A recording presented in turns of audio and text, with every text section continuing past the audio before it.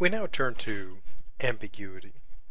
An ambiguous claim is a claim that can be interpreted in more than one way and whose meaning is not made clear by the context. So a word, phrase, or sentence is ambiguous when it has more than one meaning. Now, going back to the notion of vagueness, we saw that vagueness is something that's not precise enough. And I drew a crappy analogy between vagueness and driving in the fog. Now, if being in vagueness is like being in a fog, ambiguity is like driving along a road that splits, but there are no signs, so you don't know which road is, is actually which. So you don't know which way to go. So the ambiguity, you have two or more possible meanings, and it's not clear which is intended. For example, if someone says Paul cashed a check, that's ambiguous. Why? Well, this is kind of a boring example, but the idea is that one could cash a check, one could go to the bank and have the teller cash a check, or one could be the teller cashing the check. So it would be ambiguous. Or another example, if someone says Jennifer is renting a house, once again, that could mean that she's the one paying rent, or it could mean that someone is paying her rent for her house. Now, ambiguous questions are, are such that if someone is clever, they can be exploited. For example, some years ago, uh, the noted uh, media person Russert was asking uh, Jonathan Edwards the question, why don't you support gay marriage? Now, of course, the question, why don't you support gay marriage, is ambiguous. It can be taken as meaning, you know, what are your logical reasons for being opposed to it? It could also be taken as a psychological question why do you not support this? You know, what are your psychological reasons? And Edwards answered, taking the, the easier way out, he said, Well, I guess it was the way I was brought up. So if a question is ambiguous, one has potentially an out. Now, ambiguity can also lead to communication problems, even when people are actually intending to communicate clearly. For example, when we talk about the war on terror, the war on drugs, the war on women, the war on this, the war on that, people have you know come to notice that the notion war is rather ambiguous. After all, we normally think of war as meaning you know like war like you know World War One or World War Two, but we talk about things like the war on poverty or the war on crime or the war on women. They mean different things. Another example, when we talk about you know the matter of you know, freedom or the right to freedom, like freedom of press or freedom to bear arms. There's questions about ambiguity there as well. What is meant by those terms? Now, in order to have a rational discussion, one thing that has to be settled is that ambiguous terms have to have their ambiguity removed. Now, we might not be able to achieve, obviously, perfect lack of ambiguity, but the idea is so that it's clear what is intended. Now, in addition to cases where people are being ambiguous in a way by accident, when they're not intending to, there are also cases when people can be ambiguous out of in intent. For example, some years ago, I noticed that there was a charge appearing on my credit card. It was basically credit card insurance, which I had neither ordered nor asked for nor wanted. So I called the credit card company, you know, and spoke to the, sale, the rep and said, I'd like to cancel my credit card insurance. And the person very politely said, Certainly. We'll send you a letter to sign to cancel it. And I said, Can I just cancel it over the phone? And the person, you know, said back in a very pleasant tone, Why, yes. Yes, of course you can cancel over the phone. Now, I realized that was too easy. So, in this case, I realized, you know, having taught critical thinking for quite some time, I realized the term it was ambiguous. Because if I'd simply hung up at that point, what the person would have canceled is not the credit card insurance that I did not want, nor did I order, but would have canceled my request to cancel it.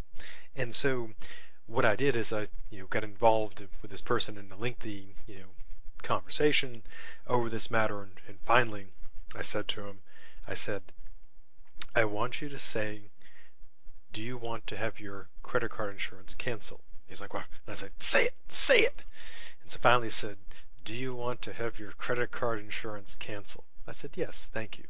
Have a nice day. But of course, if I hadn't realized the ambiguity, I could have had to call back once again. So ambiguity can be used to dupe and confuse people. Now, ambiguity can also have various other serious implications. For example, as I record this, we're involved in the United States in a considerable debate and dispute once again over gun rights, with considerable attention, of course, being focused on the Second Amendment. Now, take the Second Amendment, or at least this critical part of it, which states a well regulated militia being necessary to the security of a free state, the right of the people to keep and bear arms shall not be infringed. Now, in this case, there's an ambiguity there. Some people take this as a collective right, that is to say, that citizens, the people, have the right to be armed when serving in a militia. And of course, today we don't have you know, official militias, but what people often take this to mean is serving in, say, the National Guard or even the military. Others, of course, take this not to be a collective right, but an individual right. That is to say, it's not the case that collectively we have the right to be armed, but that individually, that each citizen has the right to bear his or her own arms. That's to say that I have a right to own, bear and own a gun, and you have the right to do so as well. And as might be imagined, there's considerable dispute about that. And even when people approach it with good intentions, trying to honestly go with what, you know, the amendment means, they can disagree with full integrity. And then, of course, if you throw politics and emotions into it, obviously it gets rather messy.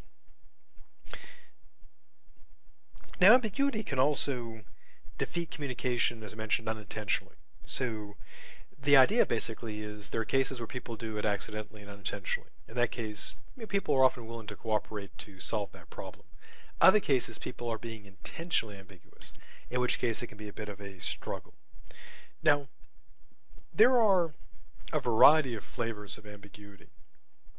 The first one, the first particular one, is what is known as semantical ambiguity.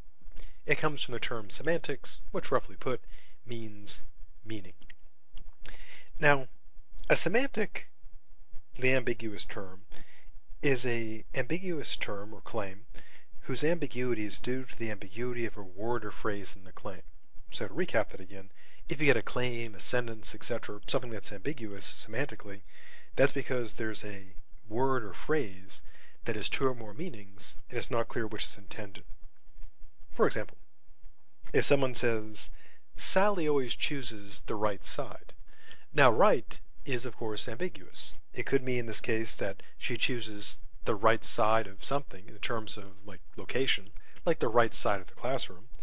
It could also mean that she chooses the morally right side, that is to say, the morally correct side, it could also be a political reference, that she always takes the side of the right, the conservative. So there's at least three meanings in that regard. And so in that case, the ambiguity rests on right having at least three meanings.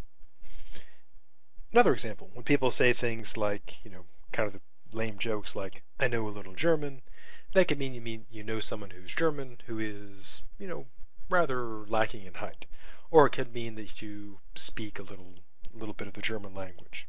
Or another example, if someone says, you know, Uncle Bill does not use glasses, that could mean, of course, reading glasses or drinking glasses. So it could mean that you know his eyesight is good, so he doesn't have to, you know, wear glasses, or he just chooses not to, or that when he drinks, he just drinks, say, right out of the, you know, jug or bottle or can or whatever. Now the way to fix semantical ambiguity is pretty straightforward. Since the ambiguity arises because there's a particular word or phrase that is ambiguous, the way to fix it is simply swap out the word or phrase with one that is not ambiguous. For example, if we have the statement, Sally always chooses the right side, suppose we mean that Sally always chooses the morally correct side, that she's a virtuous person.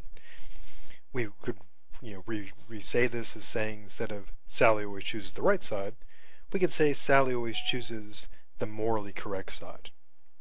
Or if someone says, you know, I know a little German, a person could say, instead, I can speak a little German. Or if someone says, instead of saying Uncle Bill doesn't use glasses, you could say Uncle Bill does not use drinking glasses. So That's the way to defuse or correct semantic ambiguity. Take the word or phrase that is ambiguous, swap it out with something that is not. Now, a second flavor of ambiguity is what is known as grouping ambiguity. It's a type of semantic ambiguity in which it is unclear whether a claim refers to a group of things taken individually or collectively. For example, if someone says retail employees makes more than make more than doctors, oh, that's ambiguous because it could mean that an individual retail employee makes more than an individual doctor, which is most likely not true. If the claim is about, you know, collectively, if you took all the retail employees, added up all their salaries, and all the doctors, then it's probably true. So although the doctors make many more times than what people, say, in retail or service make, if you add up all the many more people, the overall salary is probably higher. Another example. Take the, the sentence, tigers eat more than people. Now, this can be looked at in the following way. It could mean that tigers eat more than people in the sense that an individual tiger eats more than a typical individual person, which is, you know, true. Because even though you know people can be pretty big, uh, tigers generally eat way more than the typical individual. Now, if we take it collectively, if you took all the stuff tigers ate and all the stuff people ate, obviously in this case, we eat more than they do because there's billions of us and not many of them and fewer every day. Of course, it also is ambiguous in the sense that you could take it as tigers eat more than people, meaning they eat other things besides people, such as frosted flakes, because of course they're great. Now, associated with grouping ambiguity are two classic fallacies. A fallacy is an argument in which the reasons given for a claim fail to justify or warrant accepting the claim. Another way to look at it is a fallacy is a mistake in reasoning. It's a bad argument. The premise being presented do not adequately support the conclusion. And we'll see much more of these in part two, which is devoted, at least two thirds of it, to these fallacies. Now, people often confuse fallacy and factual error. People often say things like, blah, blah, blah, that's, that's a fallacy. What they mean is, that's a factual error. What's the difference? Well, a factual error means one is wrong about the facts. So if someone says, people think that insects won't eat, you know, cedar wood, but that's a fallacy, well, that's not a fallacy at all. It's a, it'd be a factual error. So if insects really do eat cedar, that means that it's a factual error, not a fallacy. It's not a mistake in reasoning, it's just being wrong about the facts. But anyways, getting back to the two fallacies. The first one is what's known as the fallacy of division.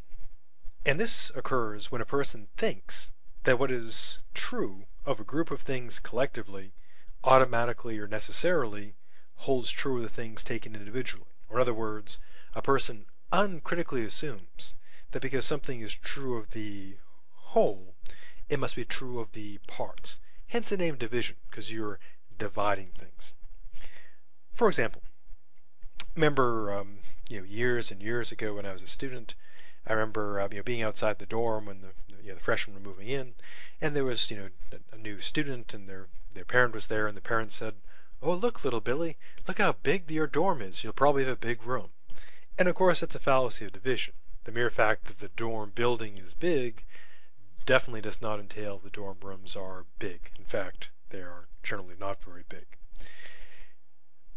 Another example, if someone says, um, you know, sodium chloride may be safely eaten, which is true, and infers that therefore the parts, the chemical components that make that up may be safely eaten, uh, that'd be a mistake because obviously sodium chloride is made up of you know, sodium, which is a, in, a metal that if you were to put it in your mouth, it would react uh, to the water in your saliva and would ignite, which would be rather unpleasant. Also, chlorine, of course, or the chlorides, are not something you'd want to eat just by itself because it would be rather bad for you. So the fallacy division, basically, the way to recognize that is someone uncritically infers that because something is true of the whole, it must be true of the parts. And again, it doesn't mean the person is making a factual error, because they may say something that's true. What's true of the whole might be true of the parts. But the mistake they're making is, is that they're uncritically assuming this, and that's the error in reasoning. The second fallacy is the fallacy of composition, and this kind of reverses things. This is to think what holds true of a group of things individually, automatically or necessarily holds of true of the things taken collectively. In other words, it's to infer that what's true of the parts must therefore be true of the whole, without adequate justification. A good example of this occurs in sports. For example, you know, some years back, back when they first allowed pro players to play basketball in the Olympics, we thought for sure we were going to win because we had the best players in the world, which is true.